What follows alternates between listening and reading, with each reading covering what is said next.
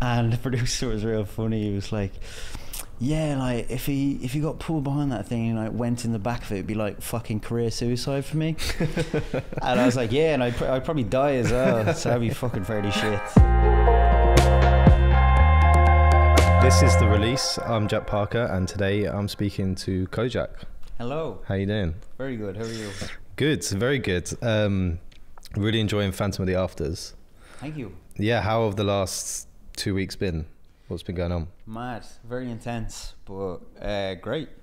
Yeah. Yeah. it's been really fun comparatively, I think, to some of my other releases. I don't know. I just feel a lot more like in it and very like present in it this Mm. time around, Yeah. which is great. When when the last album, uh, Town's Dead, came out, was Yeah. that that was just like off the end of the pandemic, right? Was it still pandemic period? It was like June 2021, Okay. so yeah, it was still very much like we weren't sure if we could tour. Couldn't really have a release party. We kind of like had a small one. Yeah. So I kind of was just like straight in making stuff because there wasn't really any promise that we could do a tour or anything even, and like yeah. So a lot of the tunes have just been it's it's been fairly like I didn't really take a break from the last one, Yeah. so it's been kind of like fairly back to back. But yeah, that's I don't know. I like working, so it's grand. Yeah. Um, so how does it feel different this time then? Like knowing the tour's like about to happen, you can like roll into that. The release is kind of a bit different, I guess, to the last one. Yeah, it was like deadline wise, it was kind of crazy. Yeah. because we had like everything just kind of came at once. I don't know. We were- like the deadline to kind of have all of the record like finished and the artwork and everything was like the end of July, and then we got asked to go to Australia with Loyle Carner. So Mhm. that was like the beginning of July, going to be all the way into August. So we had to like in a week turn around the kind of like artwork, do the shoot, and then we got the way. photos back while I was on tour, and then I was doing all the edits. Like I do the stage thing, get off probably like eight o'clock, nine o'clock, go back into the dressing room, like edit the images and stuff like that, Yeah. then send them away, and then we kind of got them finished the minute we got back, and then I got home and like flew to Dublin, shot like the Cabra Drive video, Wow. went to New York, shot the one with Wiki, so it was mental, and then the tour is like in two days. Hmm. So yeah, it's been very full on compared to like Towns Dead, where it was like I don't think we toured till November with that Right, one. okay. So it was like June all the way up to November. It was kind of like just twiddling my thumbs. Like, yeah. Well, I mean, making music, but yeah. yeah, Waiting for it all to happen. Mm. And waiting to see the response, I guess, as well, like live. That's, Yeah. That's quite different. yeah, because you don't really get that chance if you're not kind of playing the music live. You know, Yeah. to kind of see which ones are hitting and And how people react to it and everything. And how much when so when you were tweaking the artwork and making those final touches, did you were you still like working with the the ideas of that on the fly, or or did you already have it there already? You just needed to make the adjustments and everything. Like, do you know what the artwork was going to be at that point? I had like I made up a mood board Hmm.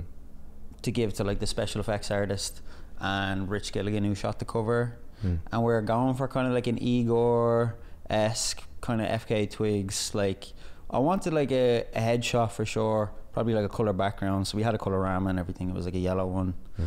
But a lot of the shots came back black and white. Like half of the shoot was probably black and white, like on film, and the other half was digital.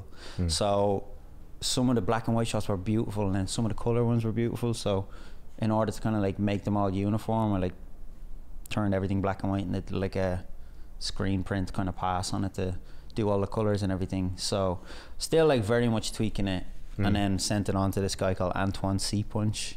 Okay. like banging designer. Yeah. He did all of the text and like the text for the back of the record and Yeah. the rest of the design stuff. But yeah, It came Apart out that- beautifully. thank you. Yeah, Yeah. I'm pumped with it. Yeah. Yeah, I really really like it. I just keep looking at it, which is maybe very self-involved, but I don't know. I just fucking like the way it looks. Like, If you can't enjoy it, then like, what's the point, right? yeah. Um, I mean, a good place to start really is is Jackie Dandelion. Yeah. Like when, how how early did you have that idea? Is that it was that idea the beginning of the creation of the record, or like were there songs already? Like what what was the starting point? that came about. I was in LA um, in May last year, I think, and we got asked to do a support slot for Fontaines DC, Mm-hmm. and I just made a stupid TikTok saying that my favorite song was Jackie Dandelions because I love dandelions. Uh, this tune is obviously Jackie Down the Line, which is Yeah. a fucking banger. Yeah, great tune. But that's where it's really, it was really fucking dumb. It didn't make any sense. it was just like a stupid, like in joke. Mhm. And then that name was kind of like, you know, it's not far from Kojaque, like Jackie. So I was kind of like, okay, that's kind of cool, character wise. Um, but I didn't really think much about it. It's just like back of the head kind of a thing. And then had probably like 20, 30 songs recorded, whittled it down, did like a really hard cut on it. And there was just, it's kind it kind of happens at the end. Like framing the record is always the last thing. Like, Okay. you do track listing and, and then you kind of think of like all right how do you kind of progress the narrative and so like having a character is like a nice way to progress a narrative it's a nice little like vehicle for that shit so that's kind of where the character came from really And that pieces it together, like at that point, because all the inter- with the interludes and everything, is that one of the last things that comes?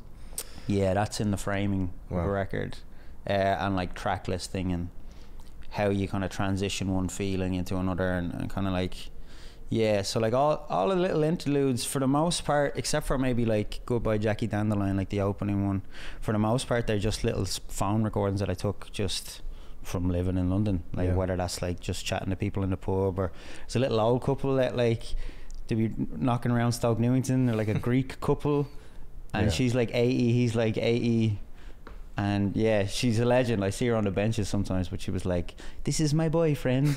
Like they're not married or and and uh, so i do be chatting to them a bit. And so like they're on the end of i think uh, wagyu. Is this where they tell you to she's find like someone and treat them right? yeah she's and, like, if you find a girl make sure she's a nice one. Treat you good for good for your family and i was like okay how many like voice notes have you ended up with like so fucking many voice notes on my phone like they're not going to be used but like i've got hundreds of voice notes on my phone?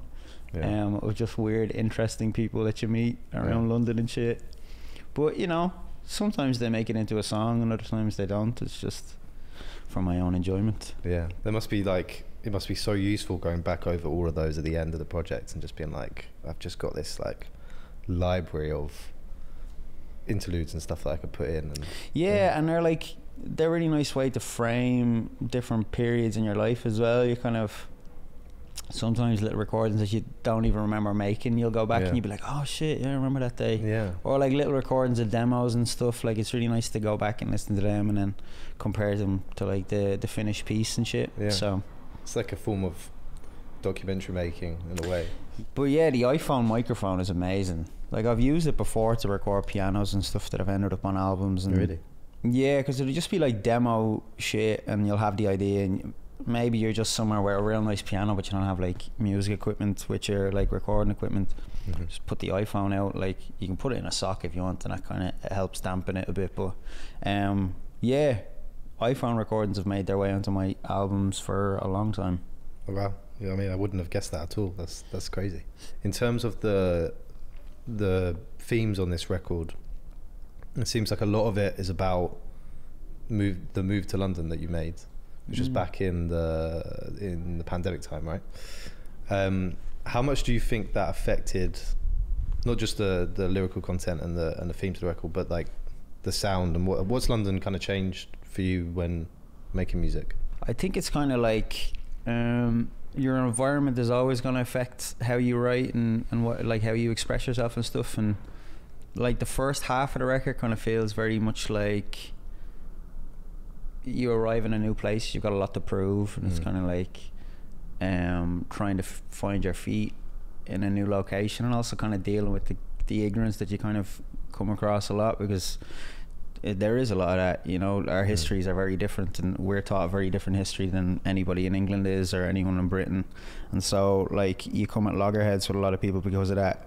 And then the kind of second half of the record is a bit more introspective, I think. And uh, I think there's a kind of certain mass that kind of lifts off at that stage. And Covent Gardens and F- Fat Ronaldo Covent Gardens is kind of like the turning point in the record, in my yeah, in my opinion anyway. When that kind of like bravado lifts off in a big way, Mm. and it's kind of a, a bit more open, I suppose, um, Yeah. and a lot less to prove, and just kind of more, yeah, contemplative, basically. Yeah, you mentioned Fat Ronaldo, Larry Bird, Yeah, Johnny McEnroe. yeah.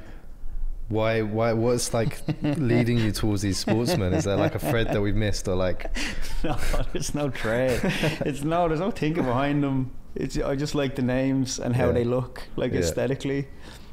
Who's like what? Like, who's who's the number one? Like, out of those three sportsmen, like, I don't know. Larry Bird could talk some good shit. yeah, I, Larry Bird before the growth spurt. I'd love to put that on a T-shirt. yeah, so that'd be good. That's fucking great. Johnny McEnroe. My ma is convinced that we're related to him because her second name is McEnroe. she always like every time I every anytime Johnny McEnroe's mentioned at all, she's like, "We're related to him." And she'll go back in the family tree, and I just think it's bullshit. Cause she's kind of, I don't know. She's very into genealogy though, Right, and okay. like knows e- it's like a country thing, you Yeah. know, but knows who everyone is related to and how. Well, that's maybe a Cavan thing too. She's like, yeah. But uh, so Johnny McEnroe is probably a big contender too. But Fat Ronaldo though, he was unbelievable. Unbelievable. yeah, The haircut as, as well. it was an iconic era. Yeah. Yeah, especially with the haircut and shit. But Johnny McEnroe, he's a, like he produces music as well. No way. Yeah. Does he actually? yeah, he plays guitar. Um, What kind of music? I d- I'm, I'm not sure. I've just heard stories about. Um, there's a story that uh, that Liam Gallagher was, te- or maybe it was Noel, but um, one of the Gallagher brothers was saying they met him backstage at a show, and he picked up the guitar and just started doing a song about uh, you cannot be serious and all stuff like that. Shut It's- the fuck up. Yeah, seriously. Yeah. That's wild. yeah. So get the family ties out, make a record. yeah, shit. Okay, Johnny McEnroe. Have to get him the feature then. I'll reach out. My long lost cousin. Yeah, yeah. So how how did the making of this record compare to? Uh, I mean, in particular, Town's Dead and and Deli Daydreams. Like what what was different about this one? If or what you know, what was the same? How do you kind of reflect on those those albums when when creating? Yeah. Um. I. I don't know exactly what was. Hard to say what's different, I suppose, but it's kind of like I think a big focus or like a big touchstone in my head was just being concise. Um, and I think just with the experience of having done two records already, it's it's kind of like yeah, you have less to prove, even from a producer standpoint, because I, I still do a lot of the production myself, and I was working a lot with Karma Kid and a couple Mm. different other heads. But um, yeah, a big part of it was just being concise and not having to put all the bells and whistles on production. Um, just I suppose because you're a little bit more confident with like how it sounds. So if if the song only needs a sample and a kick and a Yeah. snare or something like that, like it's all right if it's just that, and then the vocal will do the rest of the work. So that was a I think that was a big one, and also like keeping the time of the record, the runtime down. Like I really wanted to get it like 45 minutes. Yeah, I think it comes in at like 46. So you know, job done. yeah. Not too bad. Over by a minute, but that's grand. How come that sweet spot? What's what's the thinking behind that? that's kind of like my attention span, I think. Okay. Uh, you Yeah. know, and also just kind of like if you can, if you've got something to say and you can say it in that concise amount of time, I think you're kind of Yeah, you've trimmed all the fat off Yeah. basically. So that's that was my thinking with it. Um, make it short, make it sweet, and just like hard cut. Only the best music you can do, like no filler, that sort of thing, no skips. brilliant record. There's definitely no filler on it, and it feels like like every song has its moment on it as well. Nothing kind of bleeds into another and kind of gets missed when you're listening to it. I mean, we've had it on repeat, even just all day today, but it's been on repeat since it's since it's come out. Um, and then also with all the with all the you know interludes and with with all the the things that you can kind of dig into and hear it over repeat listens, you know, it's quite a rewarding album. You know, as previous ones have been as well. Do you find yourself, um, yeah, constantly trying to search f- to find things to put throughout the record to kind of keep people interested and keep people like getting things on on repeat listens? I, like what I really like with albums is when they feel like a little world Yeah. and they're kind of self-contained and you can really like escape into it. But yeah, like any record that I really love, like Currents or uh, like The Party, Andy Shauf, Igor. There's tons of them um, that have their own character and their own kind of uh, not neuroses. That's not the idiosyncrasies. Mhm. Like little little parts that they're not they're not really it's not songwriting exactly like let's say like the interludes or uh, the little things that kind of move you from one track to another they're like the makeup of the world of the album if Yeah. that makes sense and it's for repeat lis- listens because I still really love the album as like an art form and um I yeah I think it's fucking banging like working towards something that's like a bigger piece like nearly like how you write a novel as opposed to just Mm. focusing on singles and that sort of thing Yeah. because I've just never really, I don't know, I'm not really a single artist. I don't think if that makes sense. Mm. Like I much prefer working on bigger bodies of work and stuff that is rewarding on repeat listens. Like so, that's where a lot of that stuff comes from. And as well as that, it was kind of like this time around we were very. It was like fairly strict. Anything that went in, it was like, what is the purpose of this? And there was interludes that I took off, and Mm. and and different ones that um didn't make it for that exact reason. It was kind of like, have you said this already in any part of the record? Mm. Does it need it here? Is silence okay? Like, so yeah, that's kind of a big component uh, behind the decisions of like Yeah. that sort of stuff. It's so satisfying to like have so much to kind of dig into, and it does feel like every record is a different world to live in. You know, while you're you're doing it. What what have been your? Have you got like a favorite character or interlude from your own discography that that you particularly like love? I personally love and braggadocio, yeah, where it's like my favorite insult in a song where you say "Hey Chinos" to the guy yeah, yeah. on the end of that record. It's just like makes me smile every single time. Thank you. Uh, I really like the fella that we interlude. Uh, well, uh, the interlude at the beginning of Cabra Drive. There was another part of that that didn't really make the cut. Like that whole voice note is fucking gold. Your man, it's like they fucking hate me in here. It's like, I'm always smoking weed out of the back, but I can't smell. I just say to people next door. It's like all I can fucking do. I can drink Guinness.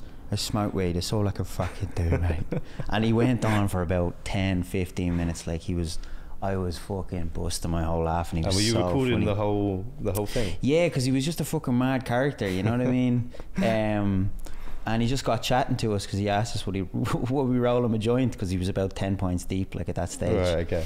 Um, so he's probably my favorite, but like the little Guinness interlude I might use on a different thing. But Yeah. he was fucking funny. There's a couple others that I like. I like the old couple from the end of um, Wagyu. Yeah, those are the ones I kind of So like. the guy in in the in the pub is he the guy who's talking about the Chuckle Brothers? Is that him? yeah, yeah, Yeah. You say Choco Brothers. Yeah. yeah, yeah, yeah. Trying to start the conversation about anything he's overheard in the pub. That kind of guy. Yeah, Yeah. literally like you're going back to my childhood. yeah. And Hak is like so. Hak Baker's on it as Yeah. well. That's right. So he's the one who's in the Nelson, Yeah. which I didn't realize. I didn't know that. But Marcus, behind the camera, mentioned earlier. Yeah, I didn't. Mm. That's that's amazing. Yeah, Hak Baker is like, you know, in terms of the fabric of like East London, he's real like Yeah. just as legit as they come. Um so I was doing a session with him and we were working on some stuff and at the end of it I was playing him some of the record and he was playing me some of his stuff um that came out on World it's World's End FM Mm. and Karma Kid, who executive produced this record, we, he was the same on Hak Baker. He executive produced World's World's End FM, so we kind of had to link up that way. And then at the end of the session, I was like, I've got an idea for like an interlude. Mm. It's like you calling me, trying to get me out. I'd love you to do it. And it was at the beginning of What If to begin with, but I changed it over to um, Citizen Kane and then put the weird BBC interlude at the beginning of What If instead. But he nailed it. Like he and he, yeah, it, it's kind of like a hard one to ask someone, especially because, you know, like. I I want I wanted that voice like you know like his fucking proper authentic like East London accent Yeah. um because it's part of like the story of the record is you know moving a location like uh, going somewhere very different and you know being at the fucking afters every other week so like yeah having him on it was brilliant and he, he smashed it like I think it only took us about four or five tries before we had one and he was just kind of ad-libbing I, I gave him some script ideas but yeah he just kind of ad-libbed it and smashed it yeah he's fucking Amazing. amazing, I love his music He's incredible. So you've been living in London for about three years now, right? Um, Yeah. How have you found your time here? You know, do you feel like it was the right move for you when you made it? Yeah, I mean, I really enjoy my time here, basically, and yeah, I mean, it's expensive, but it's really not that much more expensive than Dublin, Mm. um, which says a lot for the housing crisis in Dublin, Mm. which is it's just mad. I don't know.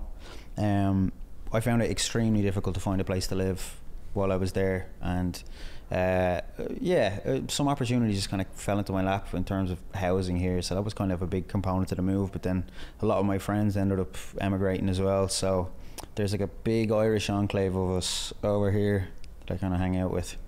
Um, I really enjoy it. I think there's like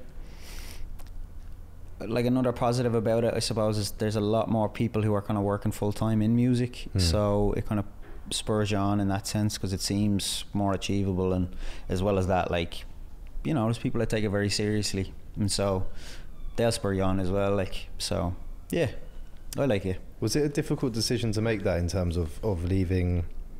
Is it difficult to leave London behind? Uh, sorry, Dublin behind for London, like in many ways, because I guess it's there's there's a some people find it as a sort of a, like a, it's the acceptance to go and take your music to the UK rather than like stay in Dublin. Do people kind of feel pressured to like stay and make the scene stronger there, or have we come Um, into it much? There's the, like you know fairly well reinforced um, uh, chips on people's shoulders for- people that move to England and stuff. Like that's Mm. where taking the soup comes from. Yeah, yeah. You know. Um, yeah, but I don't know. Like from my perspective, like you might not always be able to go, but you can always come back. Like that's kind of how I'm. I look at it anyway. Um, so I'm young. Like it's it's it makes sense to go out and explore different parts of the world. There's just, you know, there's like it makes sense that people are kind of um, tetchy when people leave because so many Mm. people do. Like, and there's also a sense of there's a lot of issues in in Dublin, um, and so I think it can feel for people like they're getting deserted Yeah. in like a shit situation Mm. like the best part about Dublin is the people for Yeah. sure you know um so I think people just get upset when when those people leave like as you would um but yeah you can always come back like Yeah. In terms of your interest in, in filmmaking and, and music videos and the music videos around this uh, album, what was the what was the most fun to make? What was the most interesting that you made? I mean, Cabra Drive seemed like a lot of fun. yeah Cabra And, uh, Drive was great Were you wearing cheek prosthetics as well? yeah it was like what do we have latex eyebrow got rid of all the eyebrow like hairs or whatever fake cheeks little bump on the nose fake lip push the ears forward yeah. It takes about two and a half hours to do. It's Saib Nguir um, and her assistant Dana did it. Um, yeah, she's an amazing SFX artist. I really wanted to work with her for ages. So I'd done some work with her previously on like a video that I directed for Kean Kavanagh. Uh, Streetlights, where she like made him look like a werewolf, and it was banging. So I wanted to work with her from that. Yeah, like Cabra Drive was a lot of fun, but I was completely exhausted at that stage. Like really, really, because I'd only got back from Australia a day, I think, and then I flew back to Dublin. Mm. So I was fairly exhausted, but it was fun because I was working with um, Connor Bradley, who was like an up and coming director from Ireland. Yeah. Um, and it was fun to kind of see like a younger blood in it, you know, and like all the crew were, were buzzing. So that was sick. But I'd say Bambi, I think, was probably my favourite one to Yeah. shoot. It was fairly stressful, but like uh, getting to work with Sam McGrath again was just like dream come true because like adore working with him. Yeah. Done a lot of collaboration with him in the past, um, and there was a lot of problem solving we had to do when it got to actually filming on a fucking ice rink. but uh, yeah, that How- one I think was my favorite. How was it set up so that you could? Where was the camera? Like, what did you? Did you have to build something so you had something over the top of you, or It was because were you pulled across actually by the machine? no, Oh, okay. no, because essentially those Zamboni machines are like massive lawnmowers Yeah. that cut ice Yeah. with a quite uh, like the gap underneath the back of one of those machines is large enough that you could just slide right under it. Um, so yeah. Yeah. and I remember talking to the producer about it on the day, and like, or when we went for like a location scout, and we were looking at the machine, and it's it's about ten or twelve foot tall as well, like it's massive. Yeah. It's like a huge ride-on lawnmower, and uh, I was like, "There's no way you're pulling me behind that." Like I know it's my idea, but like I'm not fucking going behind that thing. And the producer was real funny. He was like, "Yeah, like if he if he got pulled behind that thing and like went in the back of it, it'd be like fucking career suicide for me." and I was like, "Yeah, and I'd, pr- I'd probably die as well, so that'd be fucking fairly shit." But um, we ended up just dragging me behind a on a dolly like Yeah. um, with rubber rubber wheels on it, and it worked actually fairly well. And I was just kind of had my legs like around the tripod, and I had a skateboard with no trucks underneath me. Basically, that was how we kind of slid along. Um, yeah, so that was how we did that one. But yeah, there was a couple of things with like we didn't realize how old it was in Guildford. It was Guildford Oh, yeah. Spectrum. Yeah, yeah, Don't know yeah. if you've ever been there. Yeah, yeah, yeah. All the time growing up. Wild place. Yeah. It's an ice rink and a swimming pool Yeah, and a bowling alley yeah. and there's like a burrito place in it as well. It's great. It's a great place a to lot of other sports. If you're like 11 to 14, that's that's where you go for the old Yeah. weekend. Yeah. well, you should go in quick because it's getting torn down. Oh, is it? Yeah. That's a shame. R.I.P. to a real one. Yeah. Poor old Guildford Spectrum. Yeah. It was great, but the lights in there were really old, so they took about 10 minutes to turn on and off, which was Yeah. crazy Yeah. and really fucked us for like some of the ideas for lighting. Yeah. So we kind of just had to play it by ear with that. But yeah, there's loads of sick people I got to work with on that. Like Angela Mulhern was on the, um, did all the art direction, and Owen McLaughlin was shooting it, and yeah, it was brilliant. Yeah. I, I really liked that one. Yeah, sounds amazing. Um, and then you've obviously collaborated with a lot of people um, on the tracks of the album as well, um, including Biig Piig and uh, um, and Wiki as well. Um, yeah, so in uh, in terms of those collab- uh, collaborations on the on the album with the artists that you've worked with, h- I mean, how did they come about? Is there anyone you specifically wanted to work with going into the making the record? Um, yeah, Woof. I had the hook and my verse all done and recorded, and like the back end of the song. But there was space for a verse on it, so I sent it to Jess, and then she didn't get back to me for like four days. Yeah, she tends not to text back anyway. Uh, but I was kind of like, well, she didn't like it. That's kind of it. Wrote that one off. Was thinking like other people, and then she got back and was like, I love it. Um, let's just find time to get in the studio. So we managed to, thank fuck. And yeah, she wrote her verse there, and it was fucking unbelievable. And then Wiki, um, I had a different tune. I was hoping to get him on Wagyu actually, um, and I'd reached out, but I hadn't heard any word back. And then when I was in New York last May for the tour, um, I was doing a session with Tony Seltzer, and my manager last Mm. minute texted me and it was like, "Wiki's gonna come to the session." I was like, "This is fucking unbelievable," because I adore his music, you know. And that Half God record was like incredible, like one of my most listens to that year for sure. Yeah. And so I was listening to that on the way to the studio, and he fucking like came out of the studio doors right when I arrived, and like had him in my ears. I pulled it off. He's like, "Hey yo, Kojaque, right?" And I was like, "Yeah." I was like, "This is fucking mad." it was very bizarre. It was like 4D. Like the music came out of fucking headphones and was talking to me on the street.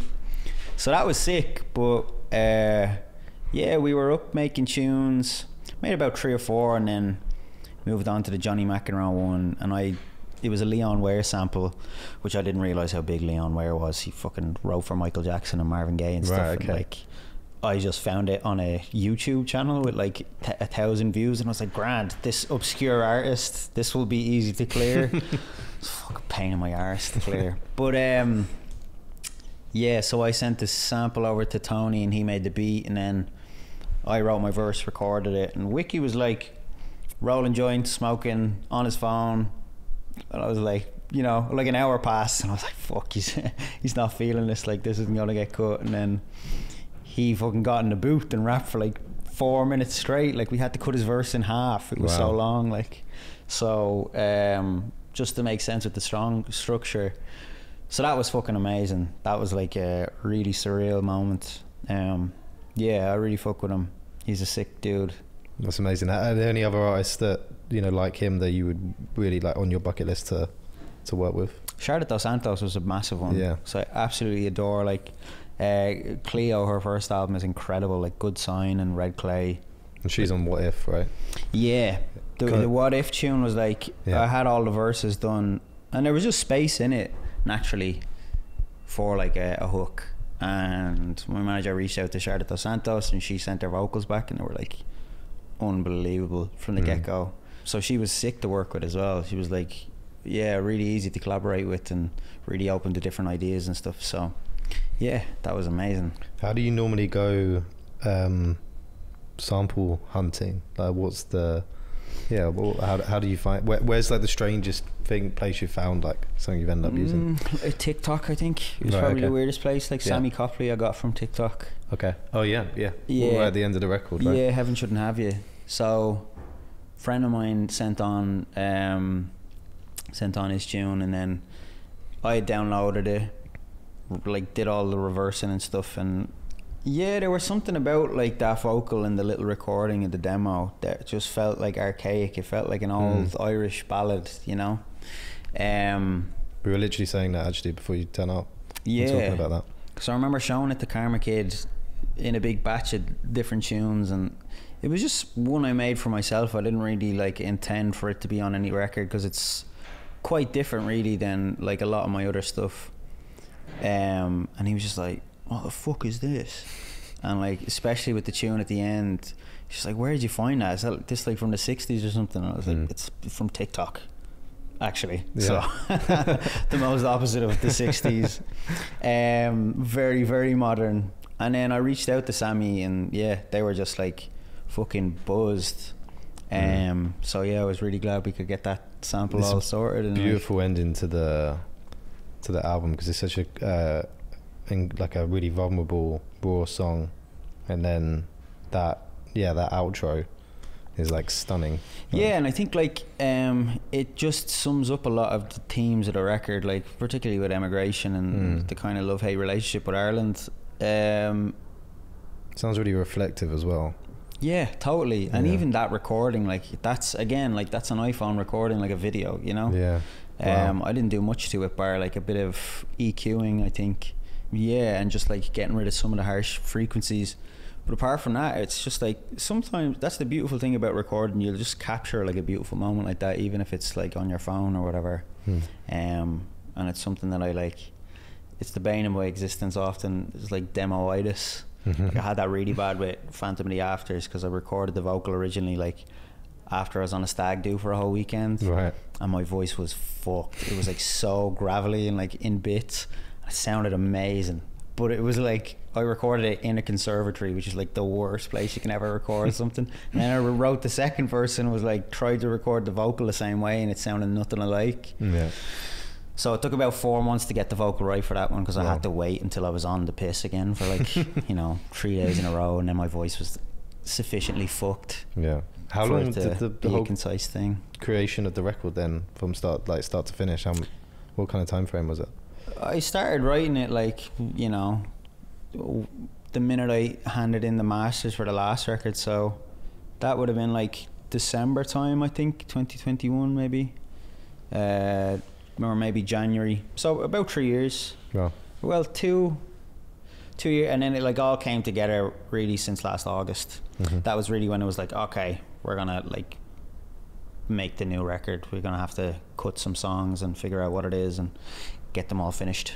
So. that final straight when you're wrapping it up is that like do you enjoy the intensity of that and the decision making and everything that goes into those like or is that kind of like does it become a little bit of like a labor of love or do you like those Um, decisions No, I don't enjoy it. Uh, yeah, no, and it was really hard this time because I was really badly depressed. Like while I was trying to fin- finish the record off, so in terms of decision making, it was like trying to battle with creative decisions as well as like really bad anxiety. You know, so Mm. it, and it really clouds like decisions like that. And as well as that, you've been listening to the songs probably for about six, eight months yeah um, before you even got to mix it. And then once you're mixing it, like you're listening to it in such fine detail that it's like you really can't see the wood from the trees. how do you deal with go like stepping away from that and that and still kind of being able to stay attached to it what, what do you do I think like um, a route, having a routine generally is like a good way of having some control on your life in situations like that. Particularly like if you're in like a depressive episode. I don't know. I could trying to remember that it's not the fucking be all and end all. Hmm. and you'll make more work and it's it's just art. It's what you do. It's not who you are. You know what I mean? Mm. That's a good one as well. I've got like a a really good team of people around me, so they're really good in terms of like knowing when to push me a little harder and knowing when to just kind of like back off and Mm. you know let me take a break and shit. So Is there anything before like we go back into it? Is there anything I haven't discussed yet that you want kind of wanted to talk about? Um, people should know about the record that they might not pick up on, or Um, I'm not sure. I mean, I, f- I feel like we've we've discussed like a lot of the record. When I was kind of summing it up, I was trying to like, yeah, I, I met with Una Mullally and did like a an interview, um, when the album was mixed to kind of discuss it, and she was writing the biog, and it was actually really useful because I talked through it, and at that stage. Uh, the album was called something else. It was, uh, I was gonna go with like superism, I think okay, to begin with, or like something soup themed anyway. um, and it just, I came away from the conversation just feeling like the album wasn't actually done, you know, Mm. um, and I couldn't really put my finger on it.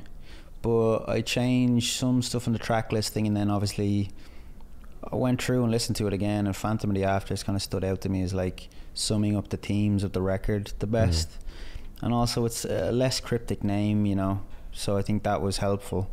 But after the conversation, I was kind of, I don't know, I kind of just tried to break down what the record was really about, and I think for the most part, it's like the album's kind of about love and it's about ambition, and I think like those two ideas can kind of come at loggerheads sometimes because they Mm. both require like commitment, and as well as that, like they're kind of opposing themes in a certain sense because love is like accepting things for what they are and then ambition is wanting more than what you have Mm. and if you get like too lost in one you get blinded to the other you know what i mean so it's like yeah you don't see what's actually in front of you and you're kind of you're like a fucking ghost basically Mm. you're like living in this fantasy of what you think your life should be so that was kind of what the record really culminated in i think or a lot of the themes anyway yeah feeling a bit disillusioned i think with stuff and Yeah. um, frustrated, and that a lot of that just comes from not um, looking at what you actually have, Yeah. basically. Yeah, I was gonna. I mean, you answered it perfectly already. I was gonna ask you about uh, love and ambition and what you wrote in the in the for the vinyl that Yeah. people can buy now, if you would like. Yeah, people certainly can buy the vinyl, and if you don't want to buy that, you can definitely buy the download or Yeah. a cassette. Maybe give it to your granny. All available. Cause Yeah. the- can you get a badge? Are there any badges anywhere? I want to uh, make them available, but I think I'm just gonna have them for the live shows. Yeah, You know, hand them out to the to the lovely patrons of the live shows. yeah. You can also buy a ticket to the live show. Um, Good to get the plug in somewhere. yeah, right? exactly. It was so natural. in in preparation for this, I was I was like trawling through um, YouTube and I came across your tour diary in 2019. Yeah, yeah. when uh, you were out on the road and you went. So that must be what the first UK tour you yeah, did, right? maybe. Yeah, yeah. First or Um, second one, I think. Yeah. Yeah, it was 29 2019. Yeah, May 2019. I think that one was. Uh, The first time I saw you play was um, you played a Fred Perry show at the Hundred Club. yeah, Was that was that before? Or, that must have been around the same time, right? yeah. Just I think Deli Daydreams had just come out. Yeah. It was maybe before that tour. Puma Blue was playing there. Yeah. Um. Couple, couple Skinny of Puer different- Lembe was he on the lineup? I think so. Den- Denzel himself, I think Yes, as well. A couple yeah. others. Um. Sons yeah. of Raphael. If you remember yeah. them, they were on the lineup. That was a good lineup. It was- Yeah, it really was. I love Puma Blue stuff. Um, Mm. Cam, who plays bass with him, he did a session, kind of bass set for me. We did like a live breakdown thing for Majestic Casual. He's amazing. Yeah. Yeah, so I was watching the the tour from 2019. How do you reflect on that that time now? You know, you're about to go obviously on a, another big U, well European tour. Um, what was it like looking back to like 2019, like first trip around the UK, hitting up all these places? Like, was it Leeds and was it Leeds or no? It was Sheffield and Yeah, live at Leeds, I think was the festival in Sheffield to about eight people, I think. Uh, yeah, we just came out and asked everyone their names. It was so few Yeah. people at the show. yeah, Um, yeah, and then you just juxtapose that with like the London show, just is so loud. Yeah. Like, and it was it was sick. I I love those videos. You know, I'd love to make another one like it. And we had Charlie Dorn travel around with us. It was great. He ju- I think he just he was a real good addition to the crew, and he kind of captured our personality very well. Yeah. But it's cool to look back at that stuff because it was all, you know, it was all independent back then. It's Yeah. independent now still, and people just came out because they loved the music. Hmm.